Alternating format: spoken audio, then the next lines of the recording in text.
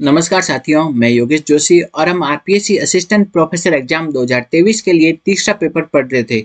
इस वीडियो में हम जिन जिन टॉपिकों का रिवीजन करेंगे, वो है, इस वीडियो में हम राजस्थान कला, संस्कृति और इतिहास के पोर्शन वाले में जो टॉपिक पढ़ेंगे, उनके नाम है, पहला है राजस्थान की प्राचीन सभ्यताएँ राजस्थान की प्राचीन सभ्यताओं को पढ़ेंगे, राजस्थान के प्रमुख राजवंश और उनके शासकों के बारे में पढ़ेंगे, नेक्स्ट मुगल राजपूत प्रतिरोध इस टॉपिक के बारे में इस वीडियो में पढ़ेंगे। नेक्स्ट है, राजस्थान के भक्ति आंदोलन और सूफी आंदोलन, इनके बारे में पढ़ेंगे। नेक्स्ट है, राजस्थान के प्रमुख संतों के बारे में पढ़ेंगे।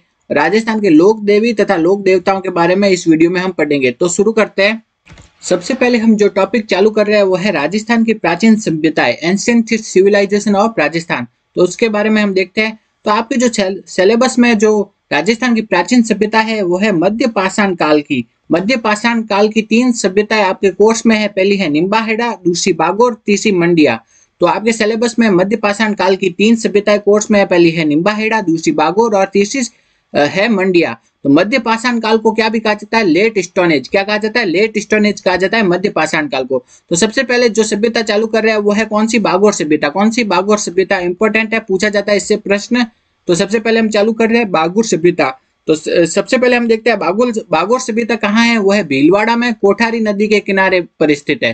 तो बागोर सभ्यता कहाँ है? भीलवाड़ा में है, कोठारी नदी के किनारे। ये पूछा जाता है तो इसको कैसे याद करेंगे? ये, इसको याद करेंगे बी बी सी एम क्या है? B B C M B का मतलब क्या है? बागोर सभ्यता दूसरे बी का नाम मतलब क्या है? भीलवाड़ा में। सी का मतलब क्या है? कोठारी नदी के किनारे। और एम का मतलब है, इसका उत्खनन का काम किसने किया था? वी एन मिश्र ने।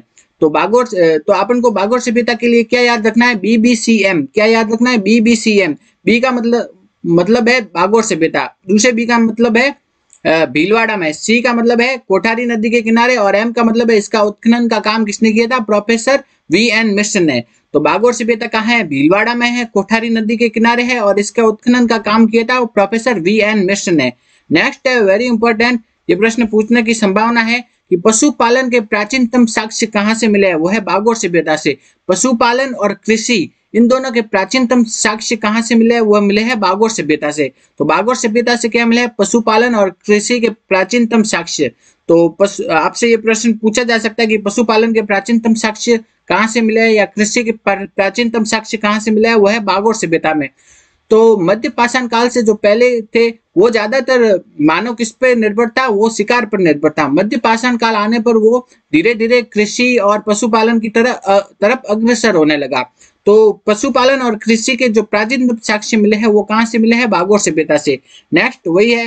बागोर सभ्यता में उत्खनन का कार्य सबसे पहले किसने किया? वो है प्रोफेसर वी एन मिश्र ने। उन्नीस सौ सड़सठ से उन्नीस सौ सितर तक किया। तो अपन को क्या याद रखना है? बागोर सभ्यता के लिए बी बी सी एम क्या याद रखना है? बी बी सी एम तो बी का मतलब है बागोर सभ्यता दूसरे बी का मतलब भीलवाड़ा में सी का मतलब कोठारी नदी के किनारे, और इसका उत्खनन का काम किसने किया था?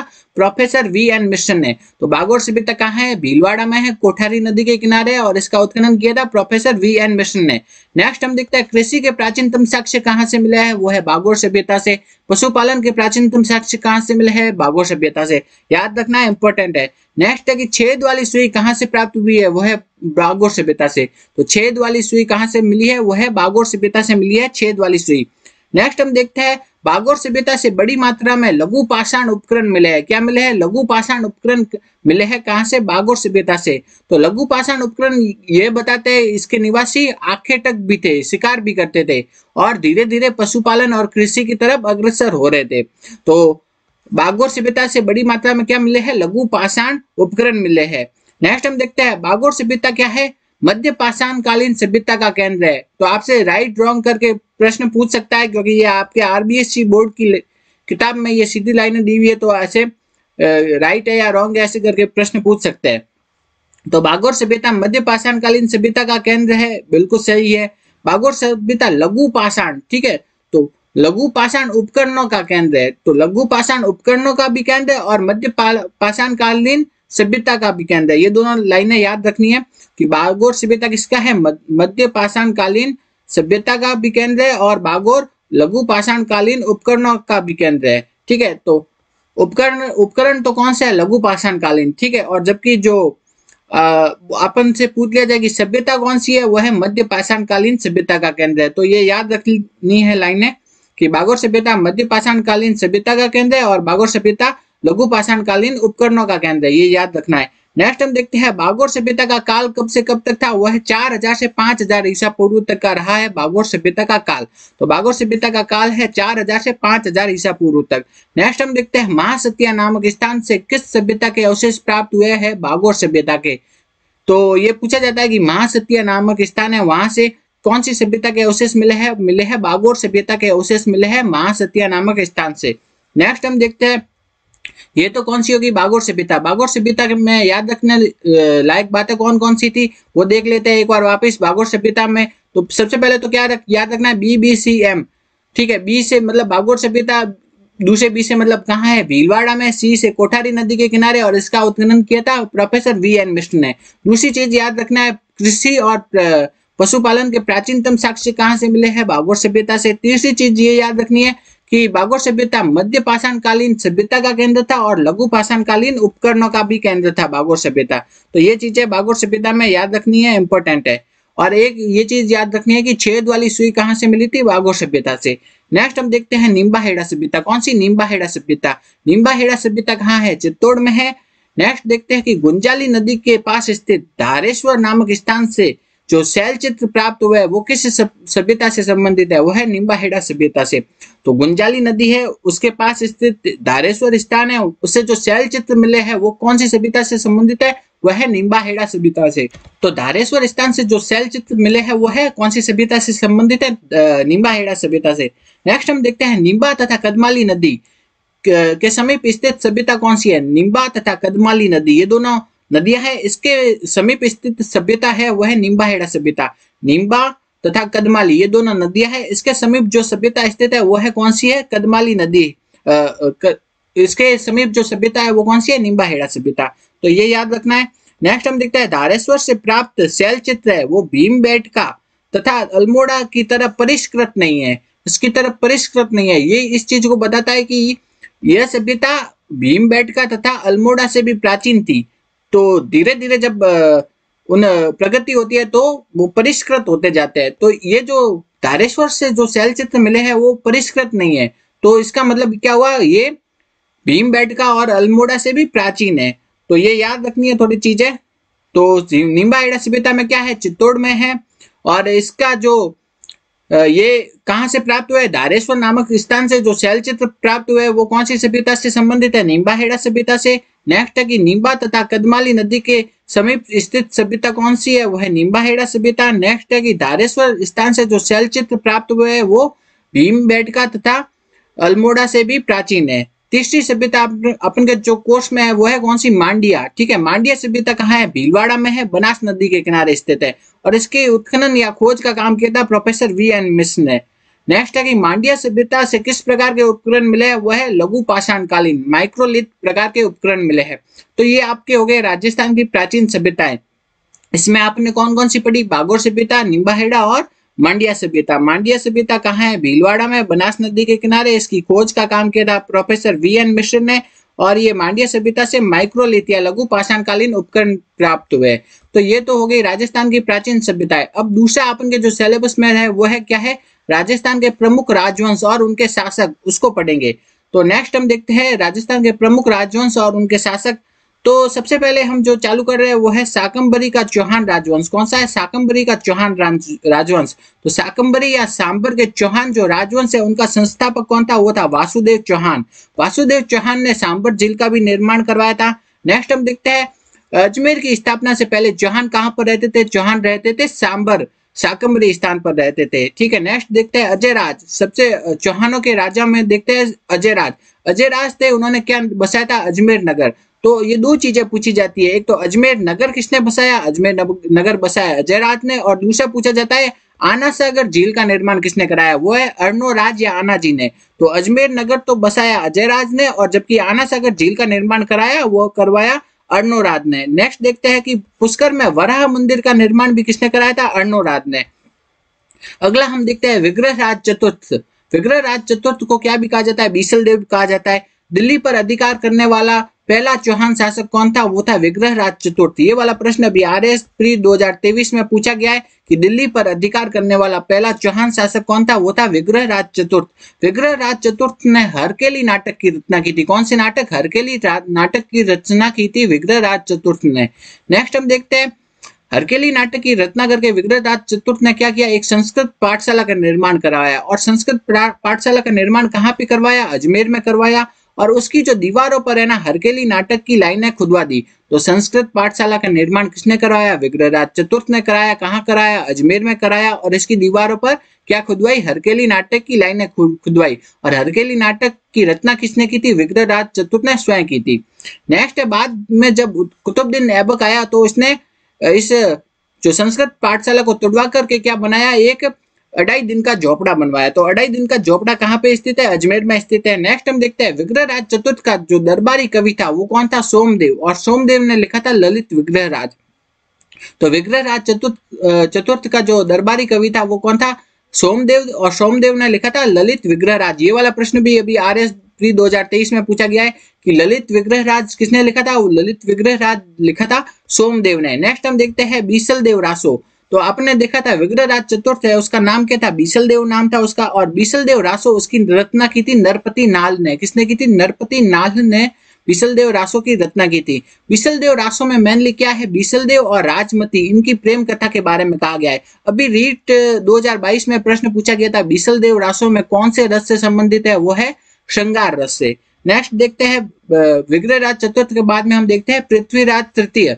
अपन हम पृथ्वीराज चौहान बोलते हैं, ज़्यादातर जाना जाता है, वो कौन सा है? पृथ्वीराज तृतीय है, जिन्होंने की मोहम्मद गौरी के साथ युद्ध लड़ा था, वो है पृथ्वीराज तृतीय। इन्हें क्या भी कहा जाता है? राय पिथोरा कहा जाता है। नेक्स्ट हम देखते हैं पृथ्वीराज तृतीय ने दो युद्ध लड़े थे, एक तो ग्यारह वाला और ग्यारह वाला। ग्यारह में तो लड़ा था उन्होंने तराइन का प्रथम युद्ध और ग्यारह में लड़ा था तराइन का दूसरा युद्ध।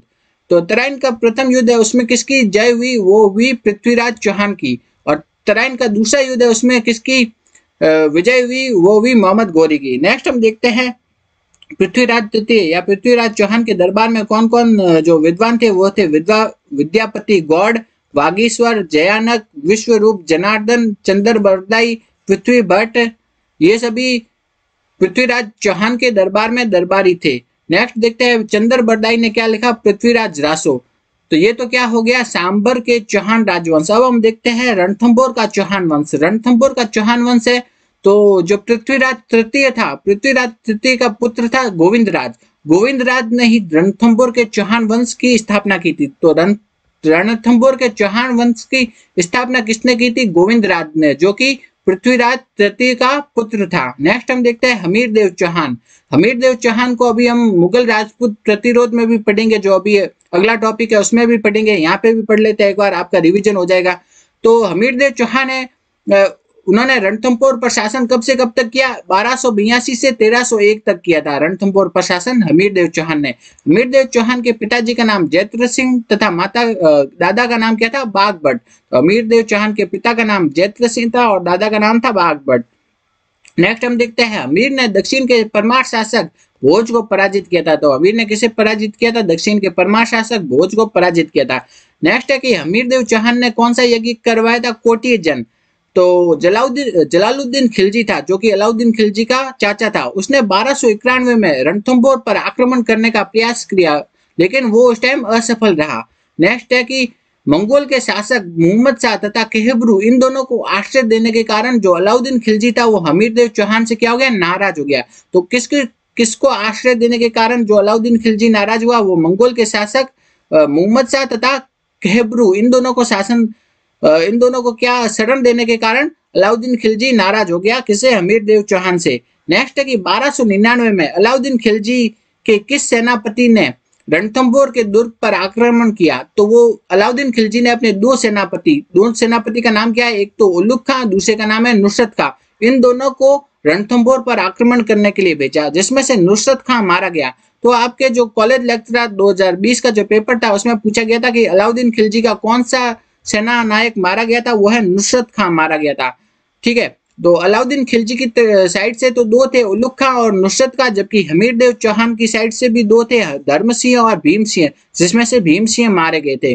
ठीक है? तो अलाउद्दीन खिलजी की ओर से उलुक खां और नुसरत खां, जिसमें नुसरत खां मारा गया और जो हमीर देव चौहान की ओर से धर्म सिंह और भीम सिंह जिसमें भीम सिंह मारे गए। नेक्स्ट हम देखते हैं अलाउद्दीन खिलजी के को जो गुप्त मार्ग की सूचना किन्होंने दी? वो रणमल और रतिपाल नामक दो सेना नायक थे जिन्हों की जिन्होंने की रणथंबोर के गुप्त मार्ग की सेना सूचना दे दी अलाउद्दीन खिलजी को, जिसके कारण राणा हमीर की पराजय हुई। नेक्स्ट हमीर की रानी रंग देवी तथा उनकी पुत्री पद्मला, इन दोनों ने क्या कर दिया? जल जौहर कर दिया। तो जल जौहर किन्होंने किया? हमीर की रानी रंग देवी और उनकी पुत्री पद्मला, इन दोनों ने जल जौहर किया। यह जौहर राजस्थान का पहला जौहर था और कैसा था? जल जौहर था, ये भी याद रखना है। नेक्स्ट हम देखते हैं रणथम्बोर पर अलाउद्दीन खिलजी का अधिकार कब हो गया? 1301 में। तो आपन से ये भी पूछा जाता है कि ना, साल पूछे जाते हैं। अलाउद्दीन खिलजी ने कहा, कब कब आक्रमण किए वो? तो तेरह सौ एक में कहा हो गया? रणथम्बोर में। नेक्स्ट हम देखते हैं, तेरह तीन में कहा पे किया? चित्तौड़ में। तेरह फिर आठ में कहा किया? वो सिवाना में। तेरह सौ ग्यारह में कहा किया? वो किया जालोर में, आक्रमण किया अलाउद्दीन खिलजी ने। नेक्स्ट हम देखते हैं रणथंबोर युद्ध में अलाउद्दीन खिलजी का साथ आने वाला जो इतिहासकार था, वो कौन था? वो था अमीर खुसरो। अमीर खुसरो याद रखना है कि यह रणथंबोर के युद्ध में या फिर चित्तौड़ पर जब युद्ध किया था, आक्रमण किया था अलाउद्दीन खिलजी ने तो अलाउद्दीन खिलजी के साथ आया था। कौन? अमीर खुसरो। नेक्स्ट देखते हैं बत्तीस खंभों की छतरी कहाँ पे स्थित है? रणथंबोर में स्थित है और इसका निर्माण कराया था राणा हमीर ने कराया था और इसे न्याय की छतरी भी कहते हैं। बत्तीस खंभों की छतरी रणथंबोर इसका निर्माण राणा हमीर ने कराया था और इसे न्याय की छतरी कहते हैं। नेक्स्ट है हमीर ने अपनी पुत्री पद्मला के लिए कि, किसका निर्माण कराया? पद्मला तालाब का। तो हमीर ने अपनी पुत्री पद्मला के लिए पद्मला तालाब का निर्माण कराया। नेक्स्ट है बीजादित्य। बीजादित्य कवि किसके दरबार में था? हमीर के दरबार में था। कोटी जन यज्ञ किसने करवाया? हमीर ने करवाया। नेक्स्ट हम देखते हैं हमीर की मृत्यु के बाद ही रणथंबोर की चौहान शाखा क्या हो गई? समाप्त हो गई। नेक्स्ट है हमीर महाकाव्य की रचना। नयनचंद सूरी ने हमीर रासो की रचना। जोधरात ने रणथंबोर की कुंजी किसे कहा जाता है? जैन दुर्ग को कहा जाता है। रणथम्बोर की जो कुंजी कहा जाता है, वो कहा जाता है जैन दुर्ग को। नेक्स्ट है हमीर ने अपने जीवन में कुल सत्रह युद्ध लड़े, जिसमें से सोलह में वह विजय हुआ था। नेक्स्ट है हमीर ने किन किन को हराया था, उनके बारे में देखते हैं। भीमरस के शासक अर्जुन को, धार के शासक भोज परमार को, मेवाड़ के शासक समर सिंह को। इन सभी को हमीर देव चौहान ने क्या किया था? हराया था। नेक्स्ट है, राजस्थान का पहला जोहर कौन सा था? राजस्थान का जो पहला जोहर था, वो क्या था? हमीर की रानी रंग देवी और पुत्री पद्मला ने किया था। राजस्थान का जो पहला जोहर था, हमीर की रानी रंग देवी और पुत्री पद्मला, इन दोनों ने किया था। राजस्थान का पहला जोहर। और यह क्या था? जल जोहर था। तो राजस्थान का पहला जौहर हमीर की रानी रंग देवी और पुत्री पद्मला ने किया और ये कैसा था? जल जौहर। नेक्स्ट हम देखते हैं जालोर का चौहान राजवंश। कौन सा है? जालोर का चौहान राजवंश। इसके बारे में देखते हैं। तो जालोर के चौहान वंश का जो संस्थापक था वो कौन था? कीर्तिपाल। तो ऊपर वाले दो देखे हैं हमने कि जो जो सांबर के चौहान वंश का संस्थापक कौन था? वासुदेव चौहान। नेक्स्ट हमने देखा रणथंभौर के चौहान वंश का संस्थापक था वो गोविंद राज था। जालोर के चौहान वंश का संस्थापक था, वो कथा कीर्तिपाल। नेक्स्ट है, अन्य शासक कौन कौन से थे? चौहान वंश के, जो कि जालोर के थे, वो है समय सिंह उदय सिंह चाचिक देव। नेक्स्ट है, कीर्तिपाल ने किसे परास्त कर, जालोर पर अधिकार किया था? वो है परमारो को। तो कीर्तिपाल ने परमारो को परास्त करके जालोर पर अधिकार कर लिया था। अब हम देखते हैं कान्हड़ देव चौहान। कान्हड़ देव चौहान है, वो आपके मुगल राजपूत प्रतिरोध में भी पढ़ेंगे अगले टॉपिक में तो इसको देखते हैं कान्हड़ देव चौहान को। तो कान्नड़ देव चौहान है, उसने जालोर पर शासन कब से कब किया? 1305 से 1311 तक किया। तो जालोर के सोनगराज चौहान थे कान्नड़ देव चौहान। जालोर की कुंजी किसे कहा जाता था? वो सिवाना को कहा जाता था, जबकि रणथंबोर की कुंजी जैन को कहा जाता था। सिवाना का शासक कौन था? सातल देव था। बावले नामक एक सैनिक के विश्वासघात के कारण अलाउद्दीन खिलजी का सिवाना पर विजय हो गया। तो सिवाना पर उसने अधिकार कब किया? 1308 में किया था अलाउद्दीन खिलजी ने। और किस सेना नायक ने विश्वासघात किया? बावले। और जबकि रणथंपुर में विश्वासघात किया था रणमल और रत्तीपाल ने। और जब हम आगे देखेंगे, जालोर। जालोर में भी विश्वास करेगी वो दैया सरदार बीका। कौन है? दैया सरदार बीका। तो शिवाना पर जब, शिवाना पर अधिकार कब हुआ? 1308 में। नेक्स्ट हम देखते हैं कान्हड़ देव चौहान। उन्होंने कब जालोर का शासक बना? 1305 कान्हड़ देव चौहान जालोर का शासक कब बना था? 1305 में बना था। नेक्स्ट हम देखते हैं कानड़ देव ने सोमनाथ मंदिर तोड़कर आ रही अलाउद्दीन खिलजी की सेना को हराया था। और कानड़ देव की सेना ने अलाउद्दीन खिलजी के एक सेनापति था शम्स खां। शम्स खां को बंदी बना लिया था। तो कानड़ देव की सेना ने अलाउद्दीन खिलजी के कौन से सेना नायक को बंदी बनाया था? शम्स खां। शम्स खां को बंदी बना लिया था कानड़ देव की सेना ने। नेक्स्ट है कि अलाउद्दीन खिलजी का कौन सा सेना नायक कानड़ देव को समझा बुझा करके दिल्ली ले गया। उसका नाम है एन उल मुल्क मुल्तानी। एन उल मुल्क मुल्तानी है, जो कि अलाउद्दीन खिलजी का सेना नायक था, वो कान्नड़ देव को समझा बुझा करके दिल्ली ले गया था। नेक्स्ट है फिर वहाँ पर दिल्ली में जाकर के जो अलाउद्दीन खिलजी ने कान्नड़ देव से अपनी पुत्र अलाउद्दीन खिलजी ने कान्नड़ देव के पुत्र वीरम देव से अपनी पुत्री फिरोजा के विवाह का प्रस्ताव रखा और जो कान्नड़ देव ने उस प्रस्ताव को ठुकरा दिया था, जिसके कारण फिर युद्ध हुआ और युद्ध में अलाउद्दीन खिलजी की विजय हुई और जो दहिया सरकार बीका दहिया सरदार बीका नामक एक सेना नायक था, उसने विश्वासघात किया, जिसके कारण जालोर पर अलाउद्दीन खिलजी का अधिकार हो गया। तो जालोर पर अलाउद्दीन खिलजी का अधिकार हुआ 1311 में, सिवाना पर हुआ था 1308 में, और उस पे हुआ था, चित्तौड़ पे हुआ था 1303 में, और जो रणथंभौर पे हुआ था अधिकार 1301 में। ये याद रखना है, साल पूछे जाते हैं। तो ये तो क्या हो गया? जालोर का चौहान वंश। अब हम पढ़ते हैं आमेर का कछुआ वंश। आमेर के कछुआ वंश को पढ़ते हैं। आमेर के कछुआ वंश का संस्थापक किसे माना जाता है? दुल्हा राय को। दुल्हा राय ने ढूंढाड़ के बड़ गुजरों को हरा करके ढूंढाड़ में नवीन राज्य को स्थापित किया था। तो दुल्हा राय ने ढूंढाड़ के बड़ गुजरों को हराया और ढूंढाड़ में नवीन राज्य को स्थापित किया। नेक्स्ट हम देखते हैं दुल्हा राय ने फिर जम्वा रामगढ़ के मीणा को परास्त किया और जम्वा रामगढ़ को अपनी राजधानी बनाया। पहले तो ढूंढाड़ के जो ढूंढाड़ के बड़ गुजरों को हराया, फिर हराया जम्वा रामगढ़ के मीणाओं को हराया। पहले तो ढूंढाड़ के बड़ गुजरों को, फिर जम्वा रामगढ़ के मीणाओं को हराया और मीणाओं को हरा करके उसने जम्वा रामगढ़ को अपनी राजधानी बनाया। फिर आमिर को राजधानी किसने बनाया था? वो बनाया था कोकिल देव ने। ये आपसे पूछ सकते कि आमिर को सर्वप्रथम राजधानी किसने बनाया था? वो बनाया था कोकिल देव ने। आमिर के मीणाओं को पराजित करके उसने आमिर को अपनी राजधानी बनाया। नेक्स्ट हम देखते हैं भारमल भारमल है वो कि मुगल अधीनता स्वीकार करने वाला पहला राजपूत शासक था कौन था? भारमल उसने अपनी पुत्री हरखाबाई का विवाह अकबर से करवा दिया भारमल के पुत्र थे भगवान दास और उनके पोते का नाम था मानसिंह। नेक्स्ट हम देखते हैं भगवान दास। अकबर ने भगवान दास को अमीर उल उमरा की उपाधि दी थी। उनके पुत्र का नाम मानसिंह और उनकी पुत्री का नाम मानबाई था। मानबाई का विवाह जहांगीर से हुआ और जहांगीर और मानबाई के एक पुत्र हुआ, जिसका नाम था खुसरो। नेक्स्ट हम देखते हैं, अकबर ने भगवान दास को पंजाब सूबे का सूबेदार बनाया और उसकी मृत्यु लास्ट में पंजाब में ही हुई थी। कहाँ हुई थी? लाहौर में। तो भगवान दास की जो मृत्यु हुई थी, वो लास्ट में कहा हुई थी? पंजाब के लाहौर में ही हुई थी। नेक्स्ट है मानसिंह। मानसिंह की बात करते हैं हम। तो मानसिंह को अकबर ने सात हज़ार का मनसब तथा फर्जंद फर्जंद का मतलब होता है बेटा तो उस फर्जंद की उपाधि दी थी। तो सात हज़ार की उपाधि सात हज़ार का जो मनसब है, वो उस टाइम बहुत ही कम लोगों को दिया जाता था। तो मान सिंह को अकबर ने कितने? सात हज़ार का मनसब दिया था। तो ये पूछा जाता है कि सात हज़ार का मनसब दिया था किसे मान सिंह को। नेक्स्ट है कि मान सिंह को काबुल का, बंगाल का तथा बिहार। पहले बिहार में क्या भी आता था? उड़ीसा भी आता था। तो काबुल, बंगाल तथा बिहार का सूबेदार बनाया गया था और मानसिंह ने इन तीनों जगहों पर विद्रोह को दबाया था। नेक्स्ट हम देखते हैं मानसिंह की रानी कंकावती। मानसिंह की रानी की कौन थी? कंकावती। मानसिंह की रानी कंकावती ने अपने पुत्र जगत सिंह जगत सिंह की याद में जगत शिरोमणि मंदिर का निर्माण कराया। तो जगत शिरोमणि मंदिर कहाँ पे स्थित है? जयपुर में।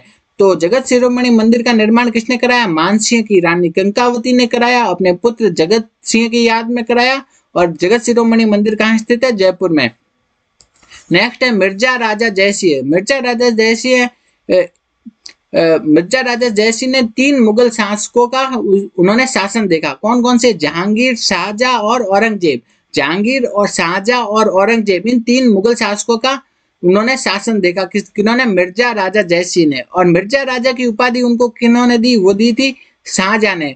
तो मिर्ज़ा राजा जयसिंह ने तीन शासकों का शासन देखा, एक है शाहजहां, जहांगीर और तीसरा है औरंगज़ेब। और उस जो मिर्ज़ा राजा जयसिंह को मिर्ज़ा राजा की उपाधि दी थी शाहजहां ने। नेक्स्ट हम देखते हैं, शिवाजी को पुरंदर की संधि करने के लिए राज़ी करने वाला शासक कौन था? वो था मिर्ज़ा राजा जयसिंह। इंपॉर्टेंट है, पूछा जाता है कि शिवाजी को पुरंदर की संधि करने के लिए राज़ी करने वाला शासक था, मिर्ज़ा राजा जय सिंह था। नेक्स्ट हम देखते हैं बिहारी कवि। बिहारी कवि किनके दरबार में था? वो था मिर्ज़ा राजा जयसिंह के दरबार में।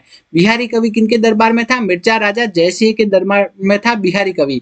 ठीक है? तो बिहारी कवि था मिर्ज़ा राजा जयसिंह के दरबार में। लेकिन जो है, एक मोहम्मद शाह आता है बाद में। ठीक है? मोहम्मद शाह, वो मिर्ज़ा राजा जयसिंह के दरबार में नहीं है। वो है किनके? सवाई जयसिंह के दरबार में। ठीक है, ये वाला अभी आर एस प्री 2023 में पूछा गया था। मोहम्मद शाह चित्रकार है, वो किसके दरबार में? सवाई जयसिंह के दरबार में। वो मिर्ज़ा राजा जयसिंह के दरबार में नहीं है।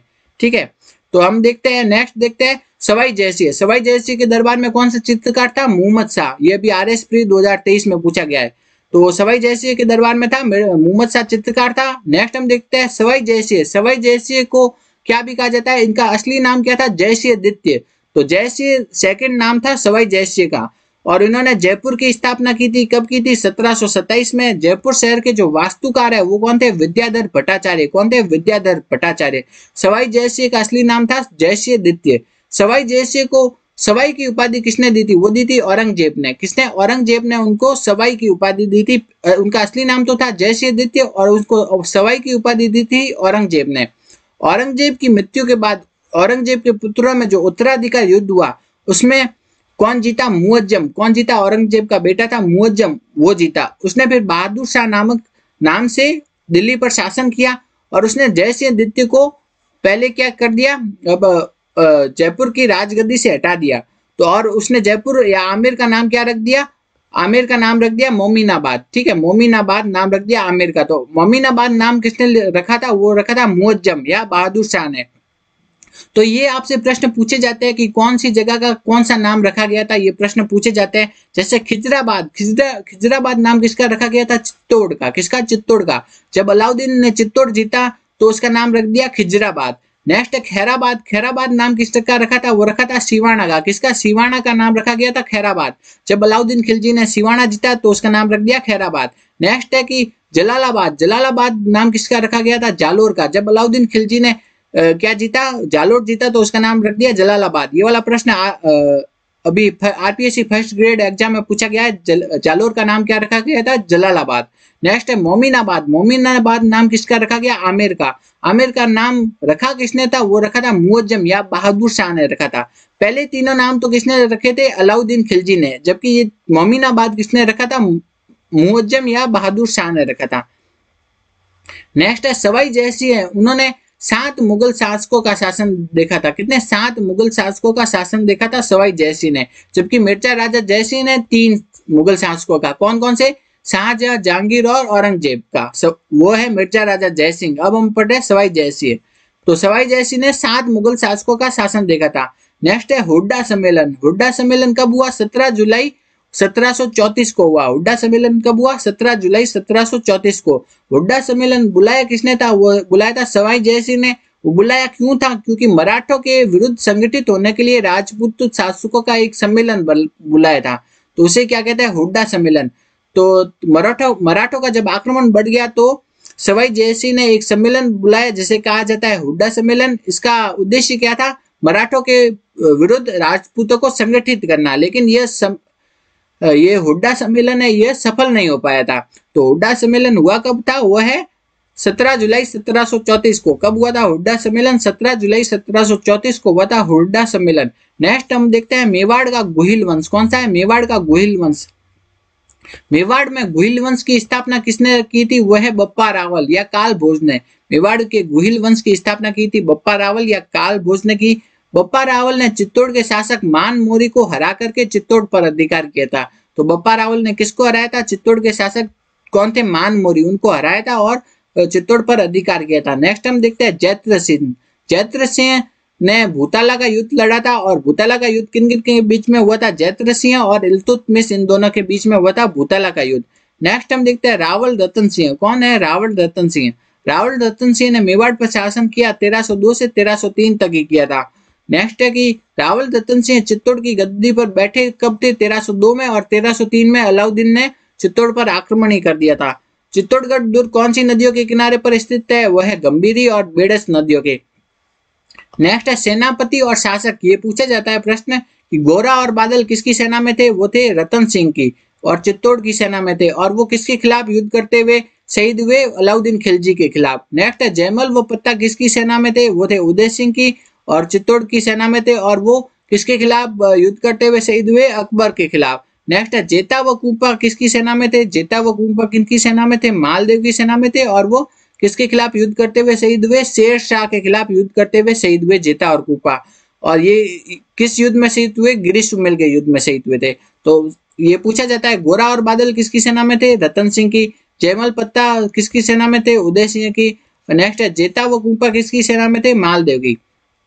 नेक्स्ट है, अलाउद्दीन खिलजी ने चित्तौड़ पर आक्रमण किया 1303 में आक्रमण किया।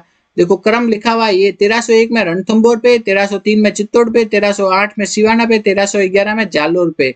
तो चित्तौड़ का पहला शाखा कौन सा था? वो है रावल रतन सिंह के समय हुआ। अलाउद्दीन खिलजी ने जब चित्तौड़ पर आक्रमण किया तब। तो और राजस्थान का पूछ ले तो वह कौन सी? कौन सा शाखा था? वो है हमीर की रानी रंग देवी द्वारा किया गया था जो। नेक्स्ट हम देखते हैं, चित्तौड़ का पहला शाखा राहुल रतन सिंह के समय हुआ था।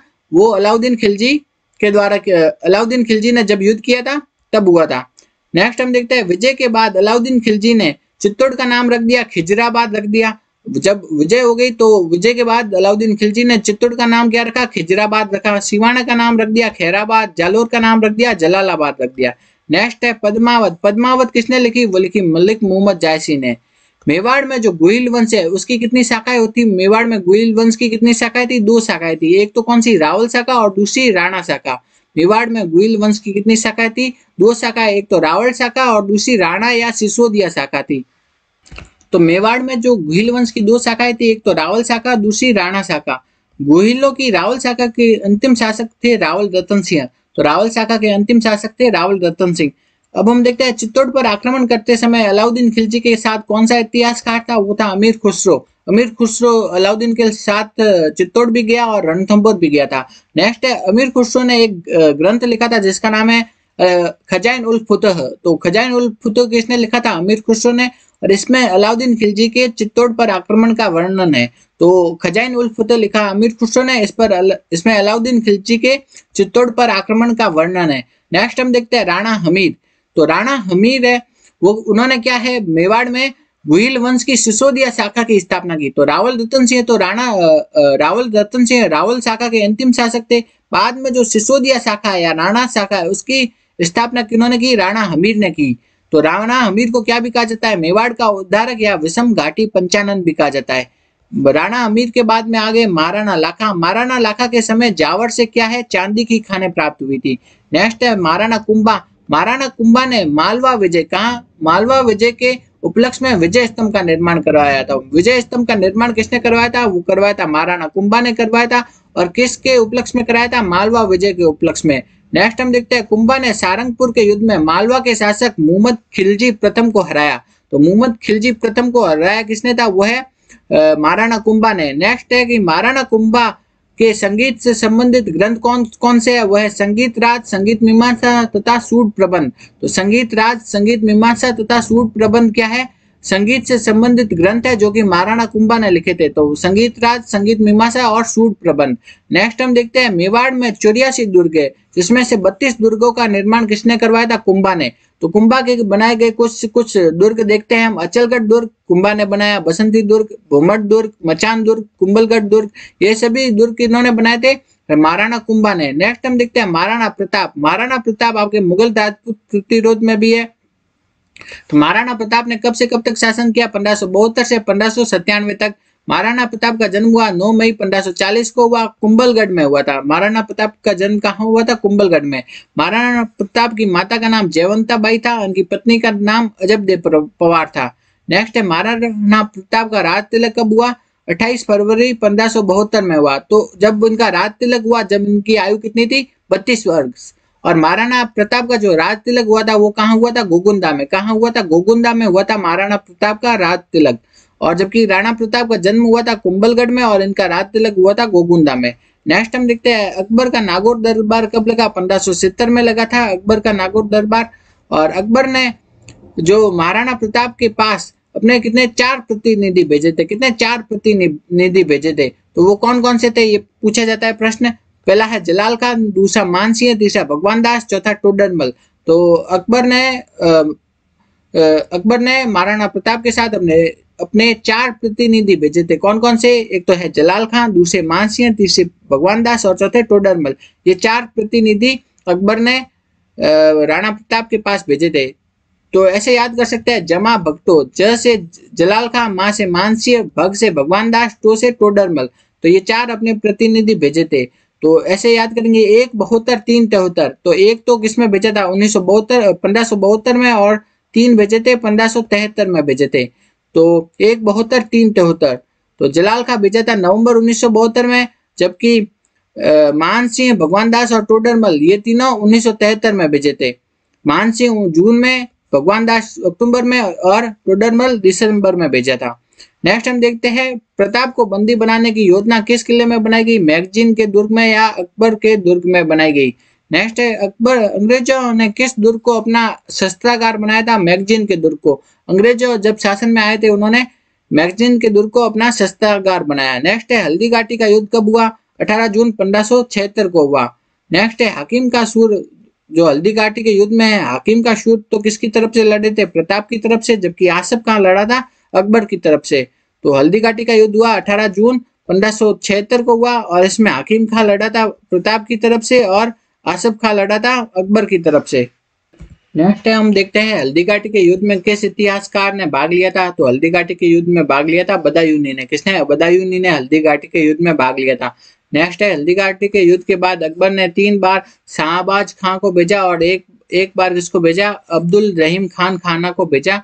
महाराणा प्रताप को हराने के लिए। लेकिन अकबर क्या रहा? अपने प्रयासों में असफल रहा। नेक्स्ट है, द्विवेर का युद्ध। द्विवेर का युद्ध कब हुआ? पंद्रह सौ में हुआ और द्विवेर का युद्ध हुआ पंद्रह सौ में। इसमें महाराणा प्रताप की विजय हुई और महाराणा प्रताप ने चित्तौड़ को छोड़कर के मांड, चित्तौड़ और मांडल इन दो जगह को छोड़कर लगभग सारा मेवाड़ जीत लिया। नेक्स्ट हम देखते हैं जेम्स टोड है, उन्होंने हल्दी घाटी के युद्ध को कहा, मेवाड़ की थर्मोपली और दिवेर के युद्ध को कहा, मेवाड़ का मैराथन। तो मेवाड़ की थर्मोपली तो हल्दी घाटी का युद्ध है और मेवाड़ का मैराथन कौन सा है? वह है द्विवेर का युद्ध।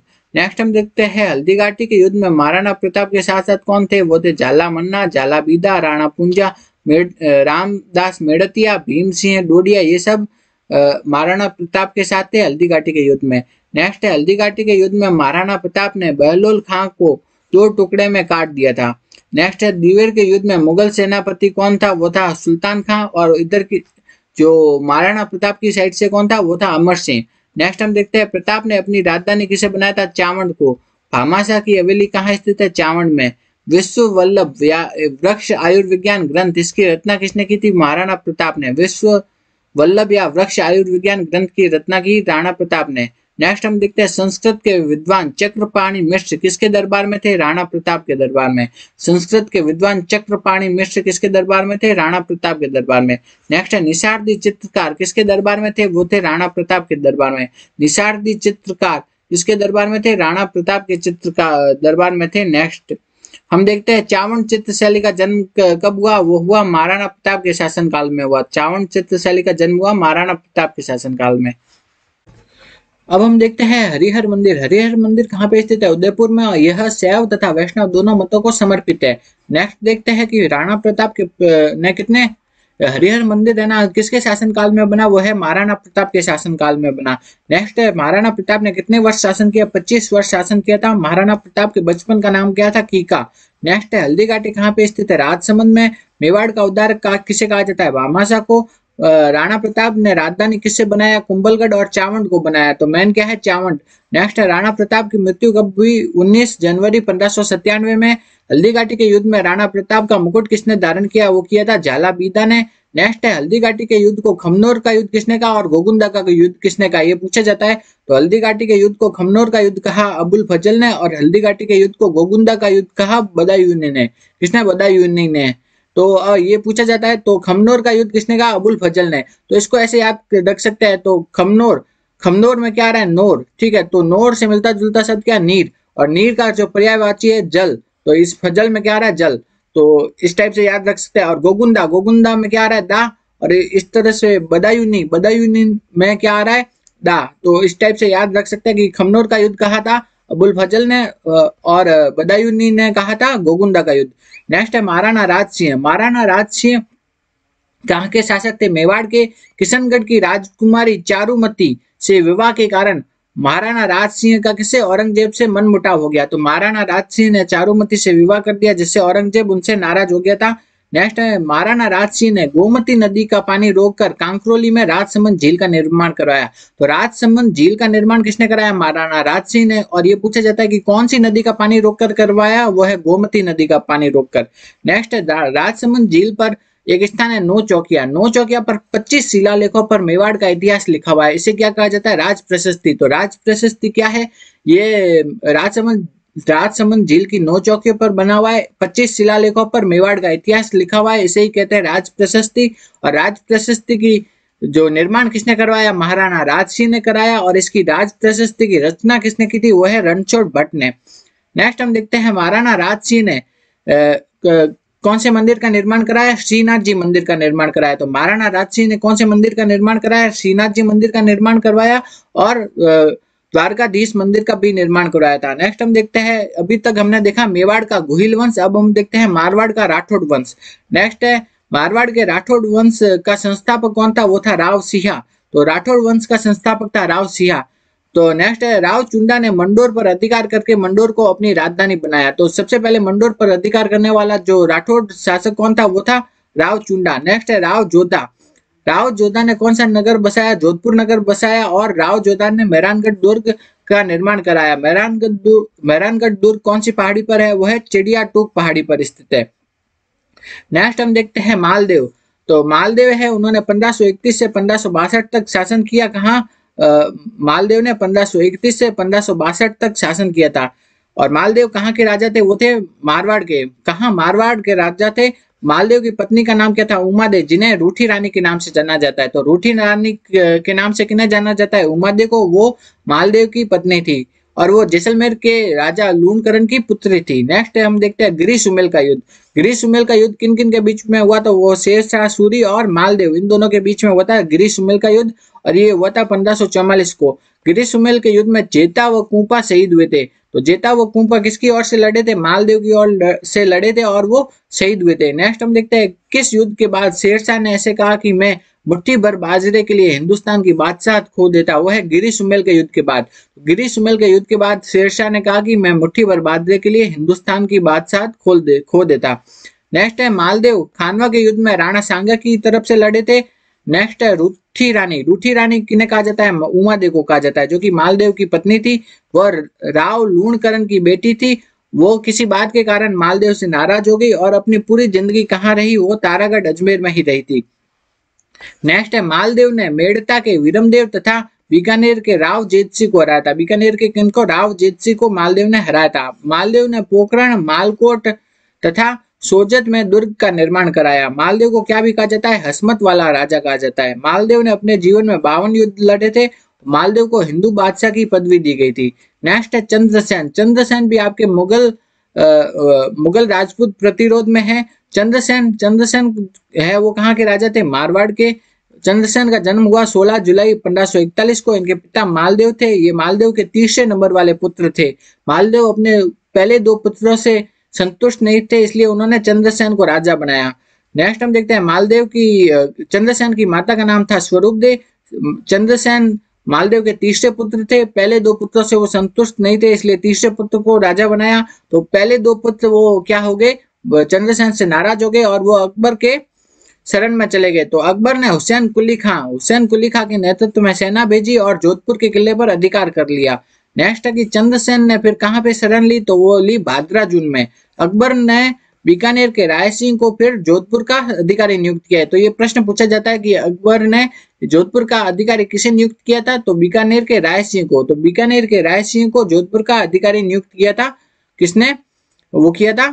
अकबर ने बीकानेर के राय सिंह को जोधपुर का अधिकारी नियुक्त किया था। नेक्स्ट है, चंद्रसेन की समाधि। चंद्रसेन की समाधि कहाँ पे स्थित है? संचियाय जो कि पाली में स्थित है, वहाँ पे स्थित है, वहाँ पे सारण के पहाड़ के पास स्थित है। नेक्स्ट है, भूला बिसरा राजा या महाराणा महाराणा प्रताप का पुरोगामी किसे कहा जाता है? वह है चंद्रसेन को। तो भूला बिसरा राजा या महाराणा प्रताप का पुरोगामी कहा जाता है चंद्रसेन को।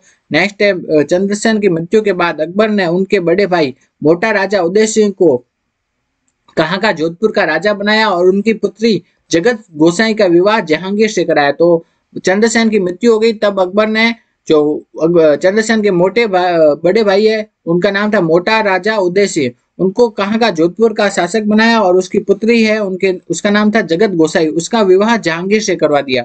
नेक्स्ट हम देखते हैं महाराणा प्रताप का पुरोगामी या मेवाड़ का महाराणा प्रताप किसे कहा जाता है? वो कहा जाता है चंद्रसेन को। चंद्रसेन ने कहा पे शरण ली थी? वो है बाद्राजून और शिवाना इन दो जगह पे शरण ली थी।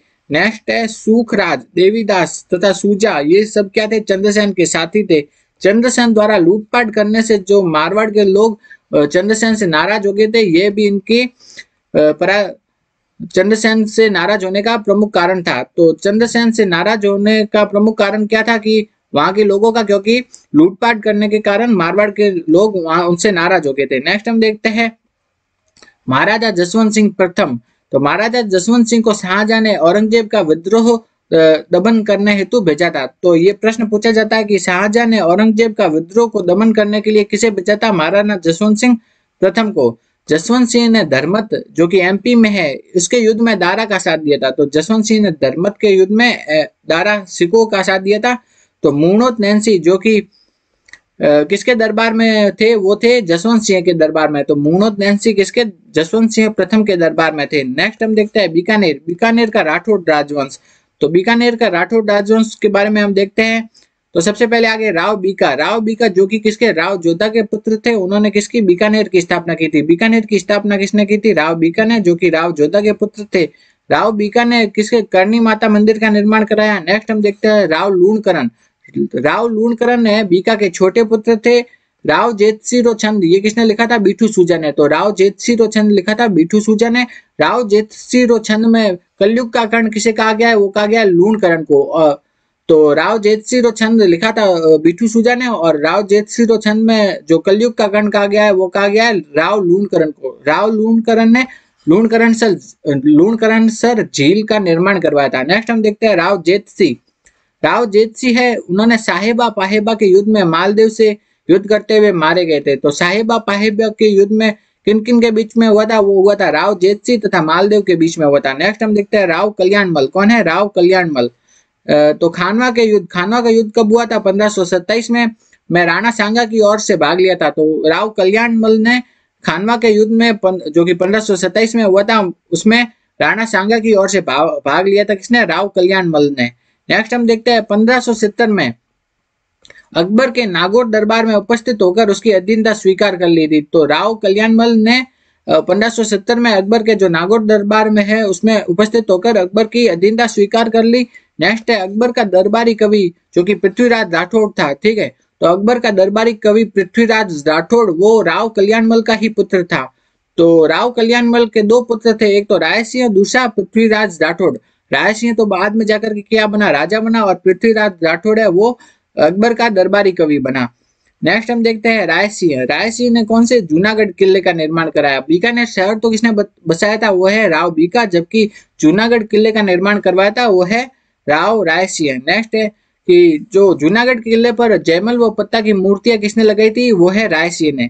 नेक्स्ट राजपूताने का कर्ण किसे कहा जाता है? राय सिंह को, जबकि आपको उनसे बोला जाए कि कलयुग का कर्ण किसे कहा जाता है? वो है राव लूणकरण को, किसे? राव लूणकरण को कलयुग का कर्ण कहा जाता है। नेक्स्ट है, राव कर्ण सिंह राव कर्ण सिंह उन्होंने उनका बीकानेर के राव कर्ण सिंह का, नागौर के अमर सिंह के साथ क्या, कौन सा युद्ध हुआ? मतीरेड की, मतीरे की राड। ठीक है, मतीरे की राड युद्ध किस किस के बीच में हुआ? बीकानेर के कर्ण सिंह और नागौर के अमर सिंह। तो मतीरे की राड युद्ध हुआ बीकानेर के कर्ण सिंह और नागौर के अमर सिंह के बीच में, मतीरे की राड युद्ध हुआ किस किस के बीच में? वो हुआ बीकानेर के कर्ण सिंह और नागौर के अमर सिंह के बीच में। नेक्स्ट हम देखते हैं चिंतामणि भट्ट। चिंतामणि भट्ट ने क्या लिखा? सुख सप्तति। सुख सप्तति किसने लिखा? चिंतामणि भट्ट ने लिखा। और चिंतामणि भट्ट ने लिखा सुख सप्तति और उसमें क्या कहा गया है? राव कर्ण सिंह को क्या कहा गया है? जांगलधर बादशाह। क्या कहा गया है? जांगलधर बादशाह। नेक्स्ट है कर, कमरसोत कुल कमरसोत कुल का संबंध किससे है? वो है राठौड़ राजवंश से है। मारवाड़ के राठौड़ राजवंश से है। कमरसोत कुल का संबंध। ये तो आपके क्या हो गया? प्रमुख राजवंश। राजस्थान के प्रमुख राजवंश। अब हम देख रहे हैं राजपूता का मुगल राजपूत प्रतिरोध। अब हम क्या पढ़ेंगे? मुगल राजपूत प्रतिरोध। तो ये मुगल राजपूत प्रतिरोध है। ये आपके प्रमुख राजवंश में कवर हो गया है। ठीक है, मुगल राजपूत प्रतिरोध। तो मुगल राजपूत प्रतिरोध वाला जो टॉपिक है, वो आपके, अभी हमने राजस्थान के प्रमुख राजवंश वाला टॉपिक पढ़ा है, उसमें कवर हो गया। ये सब हमने पढ़ लिए है। राहुल रतन सिंह पढ़ लिया थे हमीर देव चौहान भी पढ़ लिया है कान्हड़ देव भी पढ़ लिए है, मालदेव, चंद्रसेन और महाराणा प्रताप, इन सभी को उसमें कवर कर लिया है हमने। ठीक है तो ये सब चीज़ें हम हमने पढ़ ली है। तो राहुल रतन सिंह पढ़ लिया है। नेक्स्ट हम देखते हैं क्या है। हमीर देव चौहान भी हमने पढ़ लिया है उसमें। नेक्स्ट है, ये सभी अभी हम पढ़ के आए हैं तो इसे वापस से अभी पढ़ने की ज़रूरत नहीं है तो कानड़ देव चौहान भी पढ़ लिया है। नेक्स्ट कौन सा है? ये सभी हमने इसमें कवर कर लिया है, महाराणा प्रताप और हमीर देव चौहान, ये सब हमने पढ़ लिया है तो अब हम आगे जो अगला टॉपिक है, वो चालू करते हैं। अगला टॉपिक है राज, मध्यकालीन राजस्थान में भक्ति एवं सूफी आंदोलन। तो इसमें जो आपके सिलेबस में है वो है वो तीन दिए गए हैं। एक तो मीराबाई दूसरा दादू दयाल तीसरा है ख्वाजा मोइनुद्दीन चिश्ती। मीराबाई दादू दयाल तथा ख्वाजा मोइनुद्दीन चिश्ती। सबसे पहले हम देखते हैं मीराबाई। मीराबाई का जन्म चौदह ईस्वी में हुआ कुड़की ग्राम पाली में हुआ। तो मीराबाई का जन्म कहाँ हुआ? चौदह में कुड़की पाली में हुआ। मीराबाई के पिता का नाम रतन सिंह राठौड़ था तथा मीराबाई के दादा का नाम राव दूदा था। राव दूदा कहाँ के शासक थे? मेड़ता के।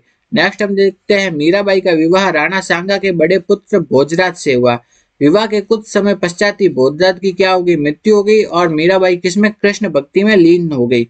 नेक्स्ट है कि मीरा के देवर, जो विक्रमादित्य था मीरा के देवर का नाम क्या था? विक्रमादित्य। उन्होंने मीराबाई को जहर देकर मरवाने का प्रयास किया। तो इससे दुखी होकर मीराबाई कहाँ चली गई? वृंदावन और बाद में कहा चली गई? द्वारका। और मीराबाई का अंतिम समय कहाँ बीता? द्वारिका में बीता। नेक्स्ट है कि दासी मत का संबंध किससे है? वह है मीराबाई से। मीराबाई के पद क्या कहलाते हैं? हरजस। मीराबाई की रचनाएँ क्या कौन कौन सी है? गीत, गोविंद, टीका, राग, गोविंद, पदावली, नरसी, ज़ीरो, मायरो, सत्य, भामा, जीनु रोशन और मीराबाई की मृत्यु कब हुई? पंद्रह में द्वारका के रणछोड़ मंदिर में। मीराबाई की मृत्यु हुई पंद्रह में द्वारका के रणछोड़ मंदिर में हुई। नेक्स्ट है दादू दयाल। दादू दयाल का जन्म हुआ पंद्रह में, अहमदाबाद में हुआ। तो दादू दयाल को क्या भी कहा जाता है? राजस्थान के कबीर भी कहा जाता है। दादू दयाल ने दीक्षा किससे प्राप्त की? बुडियन या वृद्धानंद से प्राप्त की? नेक्स्ट है पंद्रह में दादू सांबर आ गए और कौन सा, किसका काम प्रारंभ किया? दुनिया का काम प्रारंभ किया। तो पंद्रह में दादू कहाँ आ गए? सांबर आ गए और दुनिया का काम प्रारंभ किया। नेक्स्ट हम देखते हैं, बाद में वो कहाँ गए? आमेर चले गए और चौदह वर्षों तक आमेर रहे। तो आमिर गए और आमिर रहे चौदह वर्षों तक। नेक्स्ट है ऐसे कौन से संत थे जो कि अकबर से मिलने के लिए फतेहपुर सीकरी गए थे? वो है दादू दयाल। तो दादू दयाल पहले तो कहाँ थे? अहमदाबाद में जन्म हुआ, फिर वो सांबर आए। सांबर के बाद में आमिर आए, आमिर चौदह वर्ष रहे और अकबर से मिलने के लिए फतेहपुर सीकरी भी गए थे। दादू दयाल का अंतिम समय बीता नरेना जयपुर में, नरेना जयपुर में बीता। दादू पंत की प्रमुख गद्दी कहाँ पे स्थित है? वह है नारायणा जयपुर में स्थित है। दादू दयाल के कुल शिष्य कितने हैं? एक जिसमें से बावन शिष्य है, वो मुख्य है। उन्हें क्या कहा जाता है? बावन स्तंभ कहा जाता है। नेक्स्ट है दादू दयाल के प्रमुख शिष्य कौन कौन से है? वो देखते हैं। गरीबदास मिस्कन दास, सुंदर दास, बखना जी, रज्जब, माधो दास, ये सभी दादू दयाल के प्रमुख शिष्य है। नेक्स्ट है दादू ने के कौन से शिष्य जीवन भर दुल्हे के वेश में ही रहे थे? वह है रज्जब जी। रज्जब जी जीवन भर दुल्हे के वेश में रहे।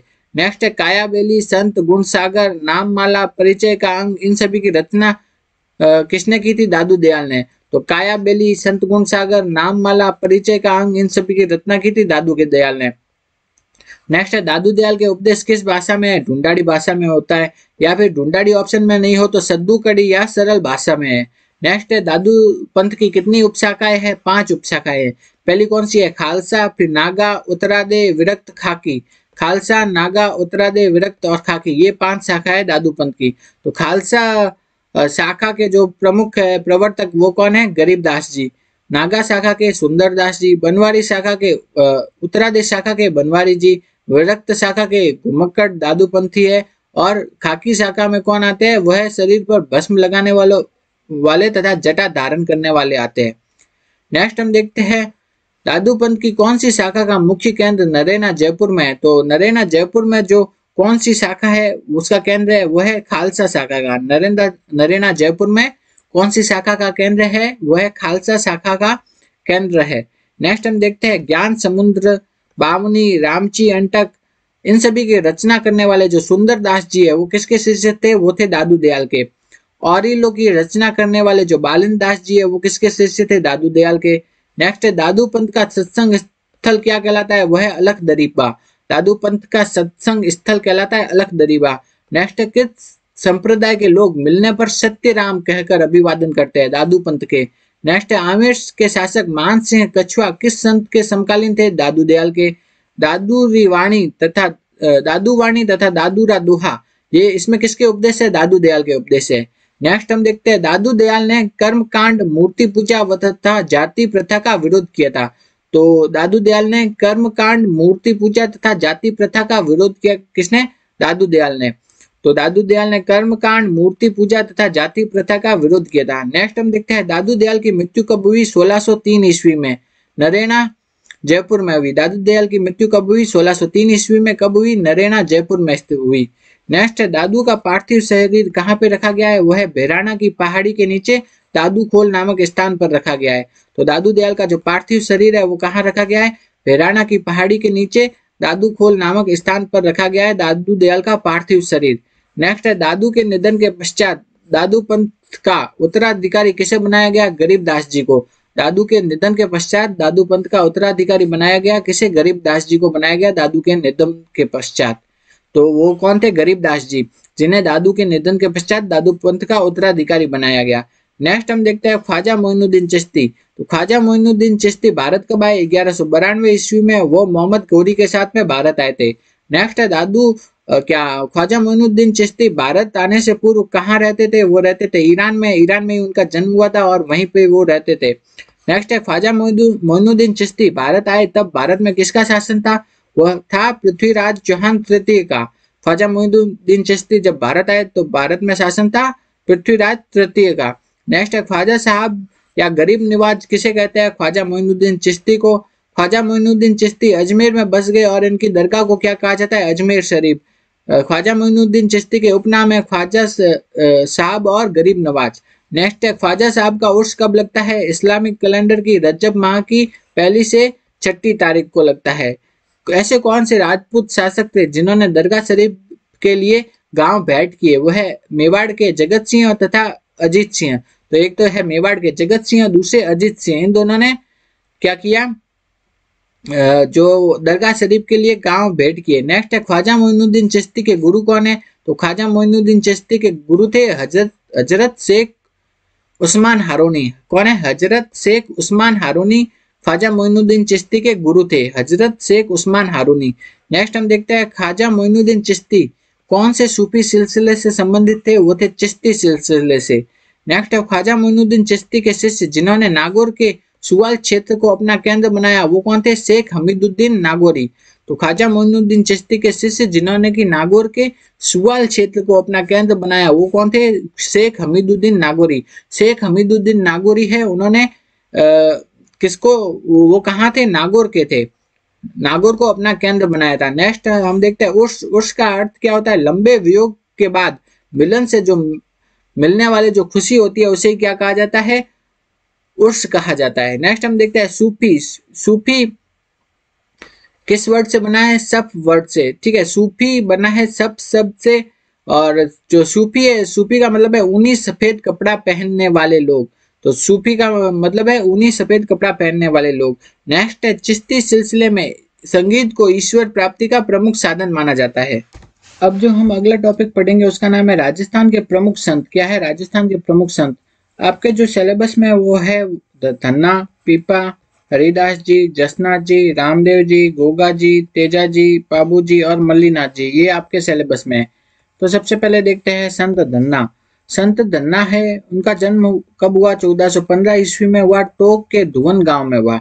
संत धन्ना का जन्म 1415 में टोक के धुवन गाँव में हुआ, एक जाट परिवार में हुआ। नेक्स्ट हम देखते हैं, राजस्थान में धार्मिक आंदोलन का जो श्री गणेश किसने किया था? संत धन्ना ने किया था। संत धन्ना और पीपा, ये दोनों रामानंद के शिष्य थे। तो रामानंद के शिष्य कौन कौन से थे? एक तो धन्ना और दूसरे पीपा। नेक्स्ट है कि धन्ना और पीपा, इन दोनों ने गृहस्थ जीवन में रहते हुए भक्ति की थी। संत पीपा पीपा का जन्म 1425 ईस्वी में हुआ था और ये खींची राजपूत थे नेक्स्ट ऐसे कौन से संत थे जो कि पहले शासक थे और बाद में संत बन गए वो थे संत पीपा संत पीपा गागरोन झालावाड़ के शासक थे और बाद में वो संत बन गए थे तो पीपा ने टोडा टोक है उसके शासक सूरसेन को भी अपना शिष्य बना लिया था तो पीपा ने कहा के टोडा टोक या इसे वर्तमान में क्या कहता है टोड रायसी टोक के शासक सूरसेन को भी अपना शिष्य बना लिया था। नेक्स्ट हम देखते हैं संत पीपा की गुफा कहाँ पे स्थित है? वह टोडा टोक में स्थित है। तो संत पीपा की गुफा कहाँ स्थित है? टोडा टोक में। नेक्स्ट हम देखते हैं संत पीपा का मंदिर कहाँ है? समदड़ी बाड़मेर में है। संत पीपा के अनुयायी कौन है? दर्जी समाज के लोग है। नेक्स्ट है चेतावनी या साखिया। ये दोनों क्या है? पीपा द्वारा हस्तलिखित ग्रंथ है। किस संत ने दिल्ली के शासक फिरोज तुगलक को युद्ध में हराया था, वह संत पीपा। संत पीपा ने दिल्ली के शासक जो फिरोज तुगलक है, उनको युद्ध में हराया था। नेक्स्ट है, संत पीपा, वो निर्गुण विचारधारा से संबंधित थे। संत पीपा की पत्नी, उनका नाम क्या था? सीता। वो भी उनके साथ गृहस्थ आश्रम को छोड़ करके संत जीवन जीने लगी। नेक्स्ट है, संत संत हरिदास जी, उनका जन्म कब हुआ? चौदह सौ पचपन ईस्वी में हुआ और डीडवाना के कापड़ोद गाँव में हुआ था। हरिदास जी ने निरंजनी संप्रदाय की स्थापना की थी। हरिदास जी का प्रारंभिक पेशा क्या था? लूटपाट करना। निरंजनी संप्रदाय में जो परमात्मा को कहा जाता है, अलख निरंजन या हरि निरंजन। नेक्स्ट हम देखते हैं, मंत्र राज प्रकाश या हरि पुरुष की वाणी। इसमें ये किनके उपदेश संकलित है? यह है संत हरिदास जी के। तो मंत्र राज प्रकाश और हरि पुरुष की वाणी। इन दोनों में किसके उपदेश है? वह है हरिदास जी के उपदेश है। मंत्र राज प्रकाश और हरि पुरुष की वाणी। इन दोनों में उपदेश है हरिदास जी के। नेक्स्ट है, हरिदास जी की मृत्यु हुई चौदह सौ पंद्रह सौ तैयलीस ईस्वी में डीडवाना में। नेक्स्ट है, जसनाथ जी। जसनाथ जी का जन्म हुआ चौदह सौ बयासी ईस्वी में कतरिया सर बीकानेर में हुआ। जसनाथ जी जाट परिवार से संबंधित थे। बारह वर्ष की आयु में इन्होंने संन्यास ले लिया। जसनाथ जी ने बारह वर्षों तक तपस्या कहाँ की थी? गोरखमालिया बीकानेर में। जसनाथ जी निर्गुण भक्ति से संबंधित है जसनाथ जी ने कौन से पंथ की स्थापना की? वो, जसनाथी संप्रदाय की स्थापना किसने की, वो है जसनाथ जी ने। कहा पे की? कतरिया सर, बीकानेर में। तो जसनाती संप्रदाय की स्थापना की। जसनाथ जी ने कहा कतरिया सर, बीकानेर में? नेक्स्ट है, राव लूणकरण को राजपद पाने का वरदान दिया था जसनाथ जी ने। सिकंदर लोधी ने जसनाथ जी को कतरिया सर के पास भूमि प्रदान की थी। तो कतरिया सर के पास भूमि जसनाथ जी को किसने दी थी? वो दी थी सिकंदर लोधी ने। जसनाती संप्रदाय में कितने नियम है? छत्तीस नियम है। ये पूछा जाता है कि जसनाती संप्रदाय में कितने नियम है? छत्तीस। नेक्स्ट है, अग्नि नृत्य किया जाता है। जसनाती संप्रदाय द्वारा यह जसनाती संप्रदाय द्वारा कहाँ पे किया जाता है? कतरिया सर बीकानेर में। नेक्स्ट है कि सिंबू दड़ा तथा कोंडा क्या है? जसनाथ जी के उपदेश है। तो जसनाथ जी के उपदेश क्या है? सिंबू दड़ा तथा कोंडा। नेक्स्ट है, जसनाथी जसनाथ जी किनसे प्रभावित थे? गोरखनाथ जी से प्रभावित थे। नेक्स्ट कि पंद्रह ईस्वी में जसनाथ जी तथा जम्बो जी का परस्पर मिलन हुआ। तो वो दोनों आपस में मिले थे और उन्होंने एक दूसरे से वार्तालाप किया और नेक्स्ट हम देखते हैं जस, जसनाती संप्रदाय की प्रमुख पीठ कहाँ पे स्थित है? वह है कतरियासर बीकानेर में स्थित है। जसनाती संप्रदाय की अन्य पीठें कौन सी है? वह बमलू लिखम लिखमादेसर पुनरासर मालासर पांचला सिद्ध में जसनाती संप्रदाय की जो अन्य पीठे कहाँ पर स्थित है? बमलू में, लिखमादेसर, पुनरासर, मालासर तथा पांचला सिद्ध में। बमलू, लिखमादेसर, पुनरासर मालासर तथा पांचला सिद्ध में जसनाती संप्रदाय की अन्य पीठ है। नेक्स्ट हम देखते हैं जसनाथी संप्रदाय के अनुयायी हरोजी, जियोजी लालनाथ जी चौकनाथ जी सवाईदास जी ये जसनाथी संप्रदाय के अनुयायी है। जसनाथ जी ने 24 वर्ष की आयु में ही समाधि ले ली थी। नेक्स्ट हम देखते हैं रामदेव जी रामदेव जी के पिता अजमल जी थे और उनकी माता मेणा दे थी। नेक्स्ट है रामदेव रामदेव जी का जन्म हुआ उंडू काश्मीर, बाड़मेर में हुआ। रामदेव जी की पत्नी का नाम था नेतल दे। रामदेव जी ने कामड़िया पंथ की स्थापना की थी। नेक्स्ट हम देखते हैं तेरह ताली नृत्य किसके द्वारा किया जाता है? कामड़िया पंथ की महिलाओं के द्वारा किया जाता है। रामदेव जी की स्तुति में किया जाता है। तेरह ताली नृत्य में कौन से वाद्य यंत्र का प्रयोग होता है? मंजीरे का। नेक्स्ट है, रामदेव जी किनके समकालीन थे? मल्लीनाथ जी के। रामदेव जी के मंदिर मंदिर क्या कहलाते हैं? देवल या देवरा कहलाते हैं। रामदेव जी ने जीवित समाधि ली थी चौदह सौ अट्ठावन ईस्वी में। नेजा क्या है? रामदेव जी की जो पंचरंगी ध्वजा है, वो नेजा कहलाती है। जम्मा क्या है? रामदेव जी का जो रात्रि जागरण होता है, वो जम्मा कहलाता है। ब्यावले क्या है? रामदेव जी के भक्तों द्वारा किए जाने वाले भजन है, वो क्या कहलाते हैं? ब्यावले नेक्स्ट है, रिखिया। रिखिया क्या है? रामदेव जी के मेघवाल जाति के जो भक्त जन होते हैं, वो क्या कहलाते हैं? रिखिया। नेक्स्ट हम कहते हैं, रामदेव जी का मुख्य मंदिर कहाँ है? रामदेवरा में और अन्य मंदिर है, मसूरिया, जोधपुर में, बिराटिया, पाली में, बराठिया, अजमेर में, अन्य मंदिर है। नेक्स्ट देखते हैं, गोगा जी। गोगा जी का जन्म ददरेवा, चुरू में हुआ, उसे क्या कहा जाता है? शीर्ष मेडी उनकी समाधि कहाँ है? नोहर हनुमानगढ़ में, जिसे कहा जाता है धुरमेडी ज़ाहिर पीर किसे कहा जाता है? वो कहा जाता है, गोगा जी को ये कहा किसने था? मोहम्मद गजनवी ने कहा था। नेक्स्ट है, गोरखनाथ जी तथा मोहम्मद गजनवी के समकालीन कौन थे? वो थे गोगा जी। नेक्स्ट है, भाद्रपद कृष्ण नवमी या गोगा नवमी को मेला लगता है गोगा जी के। गोगा जी का मेला लगता है भाद्रपद कृष्ण नवमी या गोगा नवमी को। गोगा जी के पिता का नाम जेवर जी था और उनकी माता का नाम बाइल था। नेक्स्ट है गोगा जी की पत्नी का नाम क्या था? केमल दे और जो कि पाबू जी की भतीजी थी।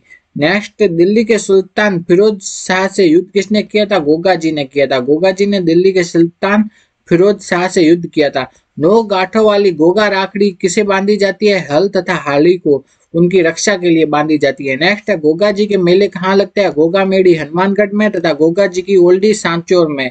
गोगा जी के मेले लगते हैं। बिट्टू मिहा के रावले में किसकी बहादुरी के बारे में बताया गया बताया गया है गोगा जी की। नेक्स्ट है तेजा जी ते, तेजा जी का जन्म हुआ खड़नाल नागौर में हुआ एक हज़ार तिहत्तर ईस्वी में। तेजा जी के पिता ताहड़ जी और तथा माता का नाम राम कुंवरी था। तेजा जी की पत्नी का नाम पेमल और तेजा जी का ससुराल कहाँ था? पनेर में था। लाचा गुजरी की गायों को मुक्त कराने का काम किसने किया था? वो किया था तेजा जी ने। देवल चारनी की गायों को मुक्त कराया था वो कराया था पाबू जी ने। लाछा गुजरी की गायों को तो मुक्त कराया था तेजा जी और देवल चारनी की गायों को मुक्त कराया था पाबू जी नेक्स्ट हम देखते हैं जीप पर सर्पदंश का चित्र अपन को दिखाया जाए तो वो, क्या किसका चित्र है? तेजा जी का। नेक्स्ट है तेजा जी के पशु मेले कहाँ लगता है? पर्वतसर नागौर में। ढोलिया वीर किस लोक देवता को कहा जाता है? तेजा जी को। अगर अपन से पूछा जाए ज़ाहिर पीर किसे कहा जाता है? वो कहा जाता है गोगा जी को और जबकि ढोलिया वीर कहा जाता है तेजा जी को। नेक्स्ट है कि तेजा जी के चबूतरे को क्या कहा जाता है? थान और तेजा जी के पुजारी को कहा जाता है घोडला। नेक्स्ट है तेजा जी के मंदिर कहाँ स्थित है? पर्वतसर नागौर और बासी दुगारी बूंदी में स्थित है।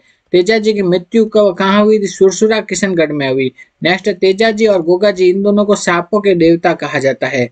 नेक्स्ट है पाबू जी पाबू जी का जो पाबू जी का जन्म हुआ कोलुमन फलोदी में हुआ। पाबू जी के पिताजी का नाम धांधल जी राठौड़ था। पाबू जी की घोड़ी का नाम क्या है? केसर कालमी केसर कालमी किनकी घोड़ी थी? पाबू जी की नेक्स्ट है पाबू जी का प्रतीक क्या है? हाथ में बाला लिए अश्वा रही। ऊंटों के देवता लक्ष्मण के अवतार प्लेग रक्षक किन्हें कहा जाता है? जी को। नेक्स्ट है, मारवाड़ में सर्वप्रथम ऊँट लाने का श्रेय दिया जाता है जी को। जी के अनुयायी क्या कहलाते हैं? नेक्स्ट हम देखते हैं बाबू जी के अनुयायी कौन है? वह रायका या रेबारी जाति के लोग। सबसे लोकप्रिय फड़ की है बाबू जी की। सबसे लंबी फड़ की है देवनारायण जी की। कभी कभी सबसे लोकप्रिय फड़ देवनारायण जी भी ऑप्शन में हो तो वो भी सही है। नेक्स्ट हम देखते हैं बापू जी की फड़ गाते समय कौन सा वाद्य यंत्र बजाया जाता है? वह रावण हत्ता। रावण हत्ता वाद्य यंत्र बजाया जाता है बाबू जी की फड़ गाते समय। नेक्स्ट है मल्लीनाथ जी। मल्लीनाथ जी के पिता का नाम रावण सलखा था और उनकी माता का नाम था जीर्ण दे। क्या था? उनकी माता का नाम था जीर्ण दे। नेक्स्ट हम देखते हैं, मल्लीनाथ जी की माता का नाम क्या था? जीर्ण दे। अगला हम देखते हैं मल्लीनाथ जी का मंदिर कहाँ पे स्थित है? वह तिलवाड़ा बाड़मेर में लूनी नदी के किनारे। नेक्स्ट है, फिरोज तुगलक के सूबेदार निजामुद्दीन को हराया था मल्लीनाथ जी ने। कौन से लोक देवता उगम सिंह भाटी के शिष्य तथा भविष्य दृष्टा एवं सिद्ध पुरुष थे? वो थे मल्लीनाथ जी।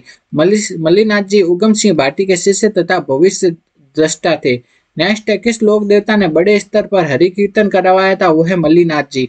मल्लीनाथ जी महेवा के शासक और तथा थे और उनकी रानी का नाम क्या था? रूपा दे था। कुंडा पंथ के प्रणेता कौन थे? मल्लीनाथ जी। कुंडा पंथ है, वो उसके प्रणेता कौन थे? मल्लीनाथ जी। मल्लीनाथ जी ने ही कुंडा पंथ चलाया था।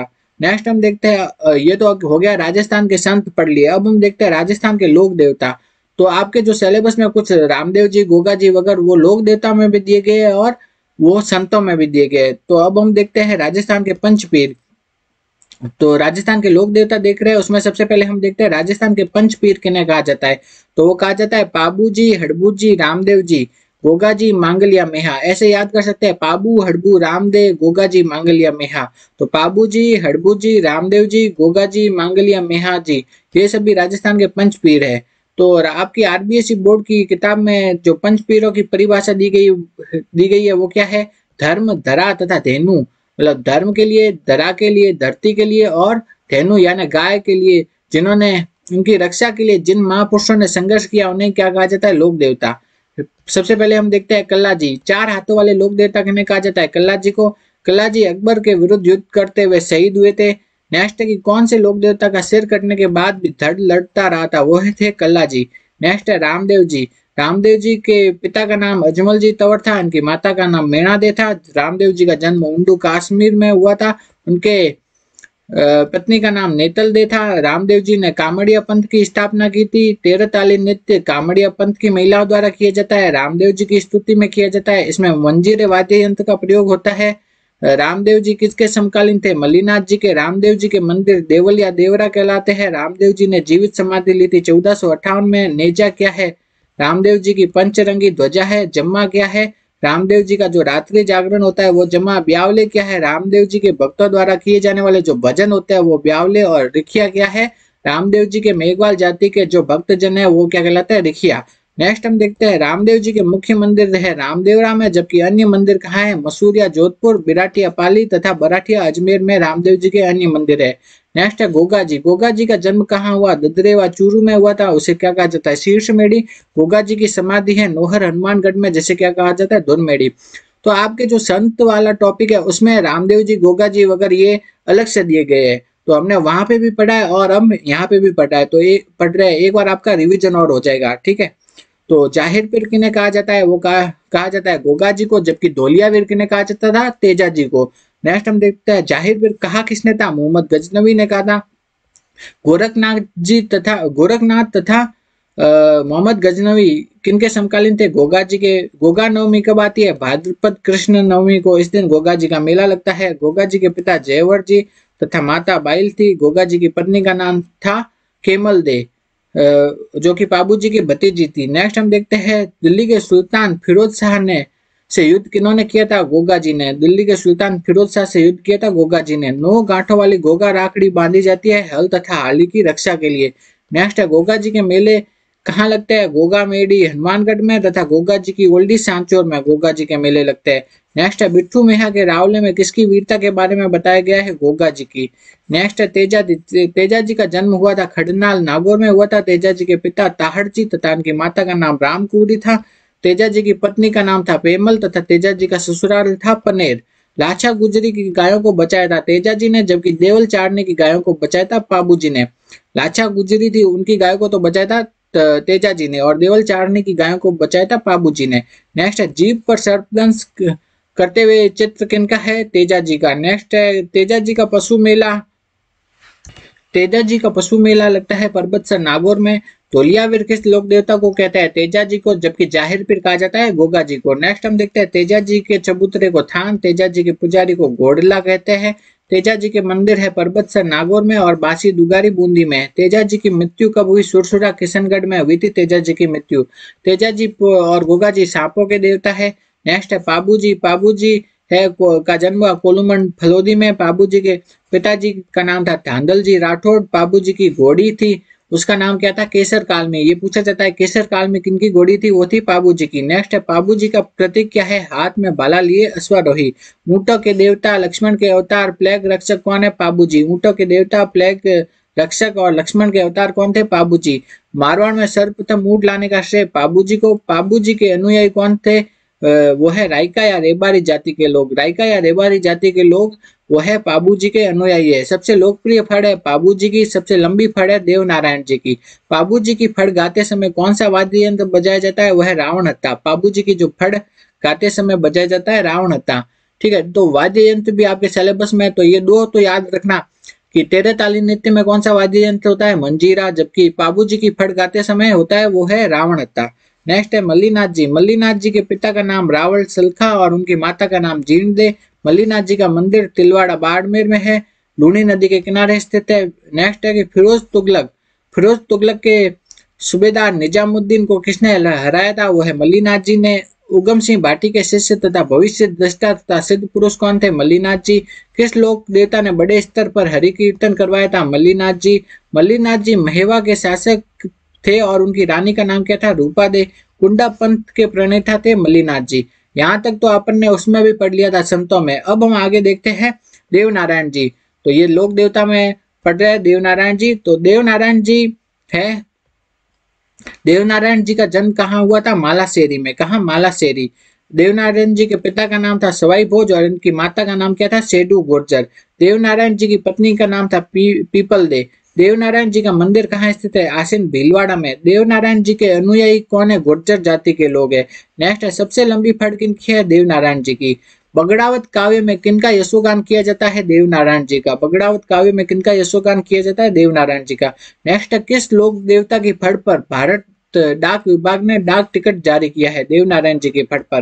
देवनारायण जी को गुर्जर जाति के लोग किनका अवतार मानते हैं? विष्णु का अवतार।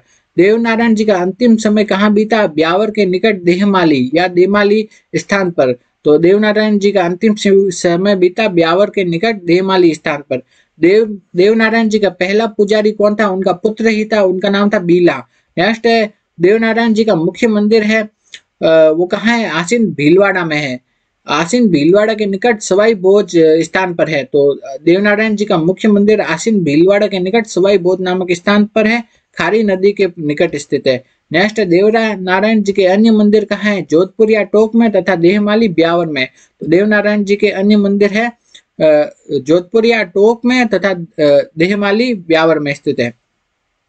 नेक्स्ट है मेहाजी मांगलिया। मेहाजी मांगलिया का मंदिर कहाँ है? बापनी जोधपुर में है। मेहाजी मांगलिया अच्छे सकुन शास्त्री थे। लोगों की सहायता करने के कारण लोक देवता के रूप में प्रसिद्ध हुए। मेहाजी मांगलिया, जैसलमेर के राव रणक देव से युद्ध करते हुए वीर गति को प्राप्त हुए। और मेहाजी मांगलिया, राव चुंडा के समकालीन थे। नेक्स्ट है हड़बू जी हड़बू जी का जन्म हुआ भूडेल नागौर में हुआ। हड़बू जी के पिता कौन थे? मेहाजी सांखला थे। हड़बू जी का मुख्य मंदिर कहाँ है? बैंगटी फलोदी में। तो अपन ने देखा, मेहाजी का तो कहाँ था? मेहाजी का तो बापणी में था। ठीक है, कहाँ बापणी? और जबकि हड़बू जी का है, वो है बैंगटी में। ये दो याद रखना। तो मेहाजी को तो कहा था? बापणी में और जो हड़बू जी था, उनके बैंगटी फलोदी में और जबकि मेहा जी है, उनका बापनी जोधपुर में और जबकि हड़बू जी है, उनका बैंगटी फलोदी में। मंदिर था। मंदिर है। ठीक है नेक्स्ट हम देखते हैं हड़बू जी के गुरु बालीनाथ जी। हड़बू जी तथा रामदेव जी आपस में दोनों क्या थे? मौसेरे भाई थे। राव जोधा को मंडोर राव जोधा को मंडोर को मेवाड़ से मुक्त करवाने का आशीर्वाद किन्होंने दिया था? हड़बू जी ने दिया था। किस लोक देवता की पत्नी सती नहीं हुई थी? तो ऐसे कौन से लोक देवता थे जिनकी पत्नी सती नहीं हुई थी? वो है हड़बू जी हड़बू जी की पत्नी सती नहीं हुई थी।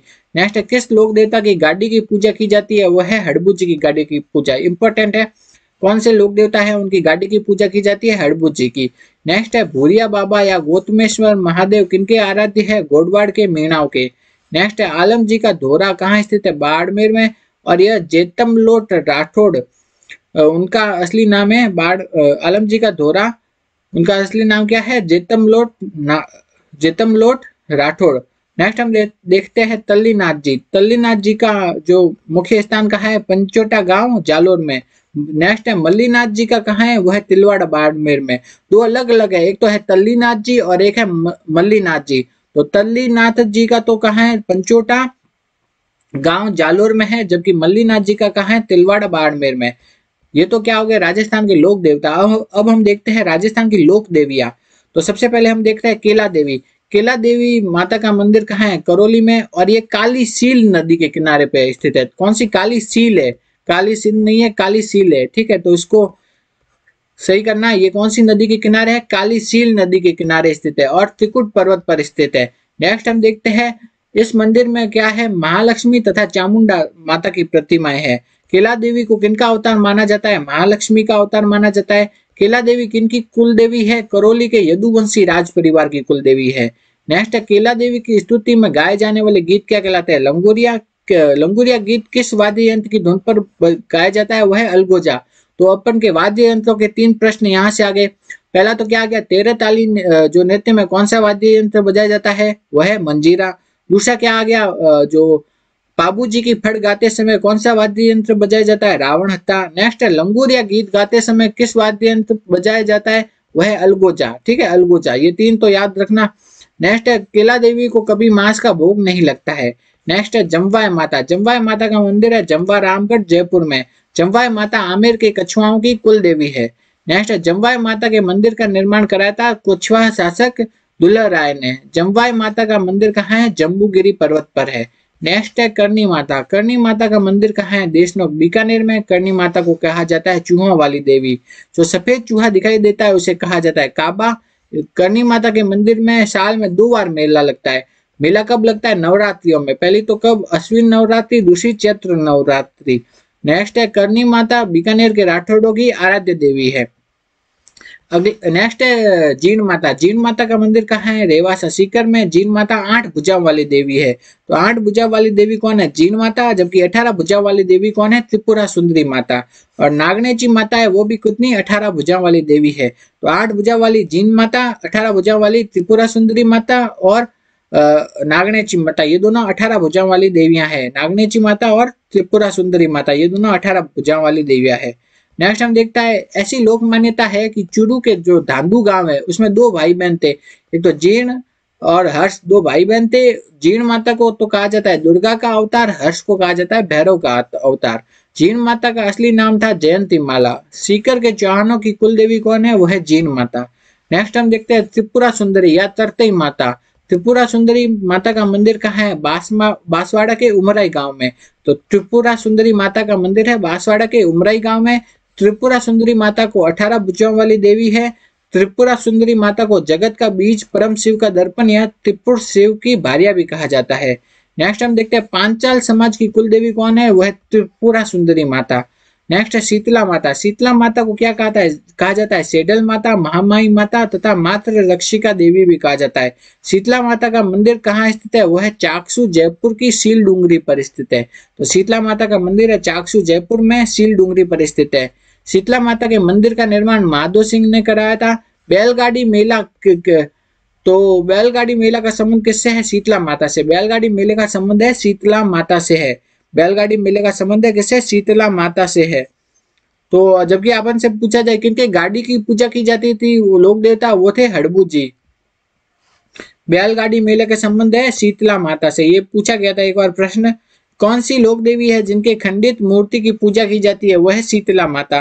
चेचक निवारक देवी कौन सी है? शीतला माता। शीतला माता का वाहन क्या है? गदा। शीतला माता की पुजारी कौन है? कुंभार जाति के लोग। नेक्स्ट हम देखते हैं चैत्र कृष्ण सप्तमी और अष्टमी को शीतला माता की पूजा की जाती है। इस दिन ठंडा भोजन या जिसे बाशियोड़ा कहते हैं, वो खाते हैं।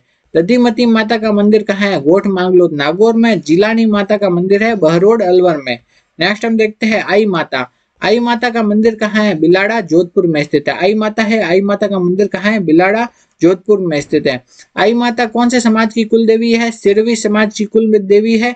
आई माता रा, रामदेव जी की शिष्या थी किनकी शिष्य थी रामदेव जी की शिष्या थी और आई माता जी का जो थान है उसमें मूर्ति नहीं होती और उस थान को क्या कहा जाता है? बडेर। तो बडेर क्या है? आई माता का ध्यान है जिसमें की मूर्ति नहीं होती है। आई माता का थान या मंदिर जिसमें की मूर्ति नहीं होती उसे क्या क्या कहा जाता है? बडेर।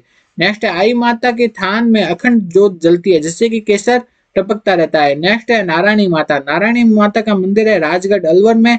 नारायणी माता किनकी कुल देवी है वह सैन समाज की कुल देवी है नारायणी माता। नेक्स्ट है, सुगाली माता। सुगाली माता अहुआ के ठाकुर कुशाल सिंह की कुल देवी है। ये पूछा गया था एक बार प्रश्न तो सुगाली माता किनकी कुल देवी है? अहुआ के ठाकुर कुशाल सिंह की कुल देवी है।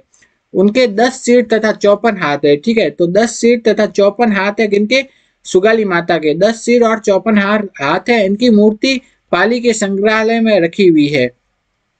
नेक्स्ट है चौथ माता। चौथ माता का मंदिर कहाँ है? चौथ का बरवाड़ा सवाई माधोपुर में चौथ माता कंजर जाति की कुल देवी है। तो चौथ माता किसकी? कंजर जनजाति की कुल देवी है। नेक्स्ट है केवाय माता। केवाय माता का मंदिर है किणसरिया, नागौर में। इस मंदिर का निर्माण कराया था चचदेव ने। नेक्स्ट है छीक माता। छीक माता का मंदिर है जयपुर में। आवरी माता। आवरी माता का मंदिर है निकुंभ चित्तौड़ में स्थित है। कहाँ स्थित है? निकुंभ चित्तौड़ में। नेक्स्ट है, संचय माता। संचय माता का मंदिर है ओशिया, जोधपुर में। ब्रह्माणी माता का मंदिर कहाँ स्थित है? सोरसन बारह में। नेक्स्ट है, घेवर माता। घेवर माता का जो मंदिर है, वो कहाँ स्थित है? राजसमंद झील के निकट स्थित है, घेवर माता। एकमात्र लोक देवी जो कि बिना पति के सती हुई, वो थी घेवर माता। कौन है? घेवर माता। ये बार एक बार प्रश्न पूछा गया था। नेक्स्ट है, शीला देवी माता। शीतला माता अलग है और शीला देवी माता अलग है। नेक्स्ट है क्या है शीला देवी माता? शीला देवी माता का मंदिर कहाँ है? आमेर, जयपुर में स्थित है। जयपुर के कछुआ वंश की इष्ट देवी है। कौन सी शीला देवी माता? जयपुर के कछुआ वंश की इष्ट देवी है। शीला देवी माता के मंदिर का निर्माण किसने करवाया था? मानसिंह प्रथम ने। और वो उनकी मूर्ति कहाँ से लाए थे? बंगाल से लेकर के आए थे। तो शीला देवी है आमिर के कछुआ वंश की इष्ट देवी है। इनका निर्माण मानसिंह प्रथम ने करवाया था और इनकी मूर्ति बंगाल से लेकर के आए थे। किस देवी को ढाई ढाई प्याला शराब चढ़ती है, वह है शीला देवी माता, जिनका मंदिर कहाँ है? जयपुर में। नेक्स्ट हम देखते हैं, जयपुर आमेर में है। नेक्स्ट है आशापुरा माता। आशापुरा माता को क्या भी कहा जाता है? महोदरी माता या महिषासुर मर्दिनी कहा जाता है। इनका मंदिर कहाँ है? जालोर के मोदरा नामक स्थान में है। जालोर के सोनगरा चौहानों की कुल देवी है आशापुरा माता। नेक्स्ट हम देखते हैं नागनेची माता। नागनेची माता जोधपुर के राठौड़ों की कुल देवी है और ये अठारह भुजाओं वाली देवी है। नेक्स्ट कौन सी देवी है? वह सकराय माता। सकराय माता का मंदिर झुंझुनू के उदयपुर वाटी में है। सकराय माता का मंदिर कहाँ है? झुंझुनू के उदयपुर वाटी में और यह खंडेल वालों की कुल देवी है। तो सकराय माता किनकी कुल देवी है? खंडेल वालों की कुल देवी है। नेक्स्ट हम देखते हैं स्वांगिया माता। स्वांगिया माता है जैसलमेर के भाटियों की कुल देवी है। तो स्वांगिया माता किनकी कुल देवी है? जैसलमेर के भाटियों की कुल देवी है। इन्हें आवड़ माता आयड़ माता या हिंगलाज माता का ही अवतार माना जाता है। तो स्वांगिया माता को आवड़ माता आयड़ माता या हिंगलाज माता का ही अवतार माना जाता है। नेक्स्ट है सुगंध चिड़ी का स्वरूप किन्हें माना जाता है? आवड़ माता को माना जाता है। जैसलमेर के भाटियों द्वारा पूजा की जाती है। किन देवियों की? आवड़ माता या आयन माता की, हिंगलाज माता की, स्वांगिया माता की। कौन कौन सी देवियों की पूजा की जाती है? एक तो आवड़ माता या आयड माता, नेक्स्ट है, हिंगलाज माता, तीसरी है, स्वांगिया माता, इन देवियों की पूजा की जाती है जैसलमेर के भाटियों द्वारा। नेक्स्ट है, तन्नोट माता। तन्नोट माता का मंदिर कहाँ स्थित है? जैसलमेर में, और थार की वैष्णो देवी किन्हें कहा जाता है? तन्नोट माता को। और तन्नोट माता की पूजा सेना के जवानों द्वारा की जाती है। नेक्स्ट है साकम्बरी माता। साकम्बरी माता का मंदिर कहाँ स्थित है? वह सांबर झील में के पास स्थित है। नेक्स्ट है, कंठेश्वरी माता। कंठेश्वरी माता की पूजा की जाती है आदिवासियों द्वारा। बाण माता बाण माता को क्या भी कहा जाता है? ब्रह्माणी माता। तो इनका मंदिर कहा है? ये उदयपुर के सिसोदिया की कुल देवी है। तो उदयपुर के सिसोदिया वंश है, उनकी कुल देवी कौन सी है? वह है बाण माता। उदयपुर के सिसोदिया वंश की कुल देवी है बाण माता। नेक्स्ट है कि चित्तौड़ में चित्तौड़ में भी इनका मंदिर है और यहाँ इनका मंदिर कहाँ पे भी है? सोरसन बारह में भी है। इन हंस इनकी सवारी क्या है? हंस है। ब्रह्माणी माता की सवारी क्या है? हंस है। और ऐसी कौन सी देवी है जिनकी पूट की पीठ की पूजा की जाती है? वह है ब्रह्माणी माता। तो ऐसी कौन सी देवी है जिनकी की पूट, पीठ की पूजा की जाती है? वह है ब्रह्माणी माता। नेक्स्ट है चामुंडा माता। चामुंडा माता का मंदिर कहाँ है? मेहरानगढ़, जोधपुर में है। और यह प्रतिहारों की कुल देवी है। चामुंडा माता किनकी कुल देवी है? प्रतिहारों की। नेक्स्ट है ज्वाला माता। ज्वाला माता का मंदिर कहाँ है? जोबनेर, जयपुर में है। और यह खंगारोतों की कुल देवी है। अगर आपको हमारा ये वीडियो अच्छा लगा तो वीडियो को लाइक करो, ज़्यादा से ज़्यादा शेयर करो और हमारे यूट्यूब चैनल को सब्सक्राइब करो।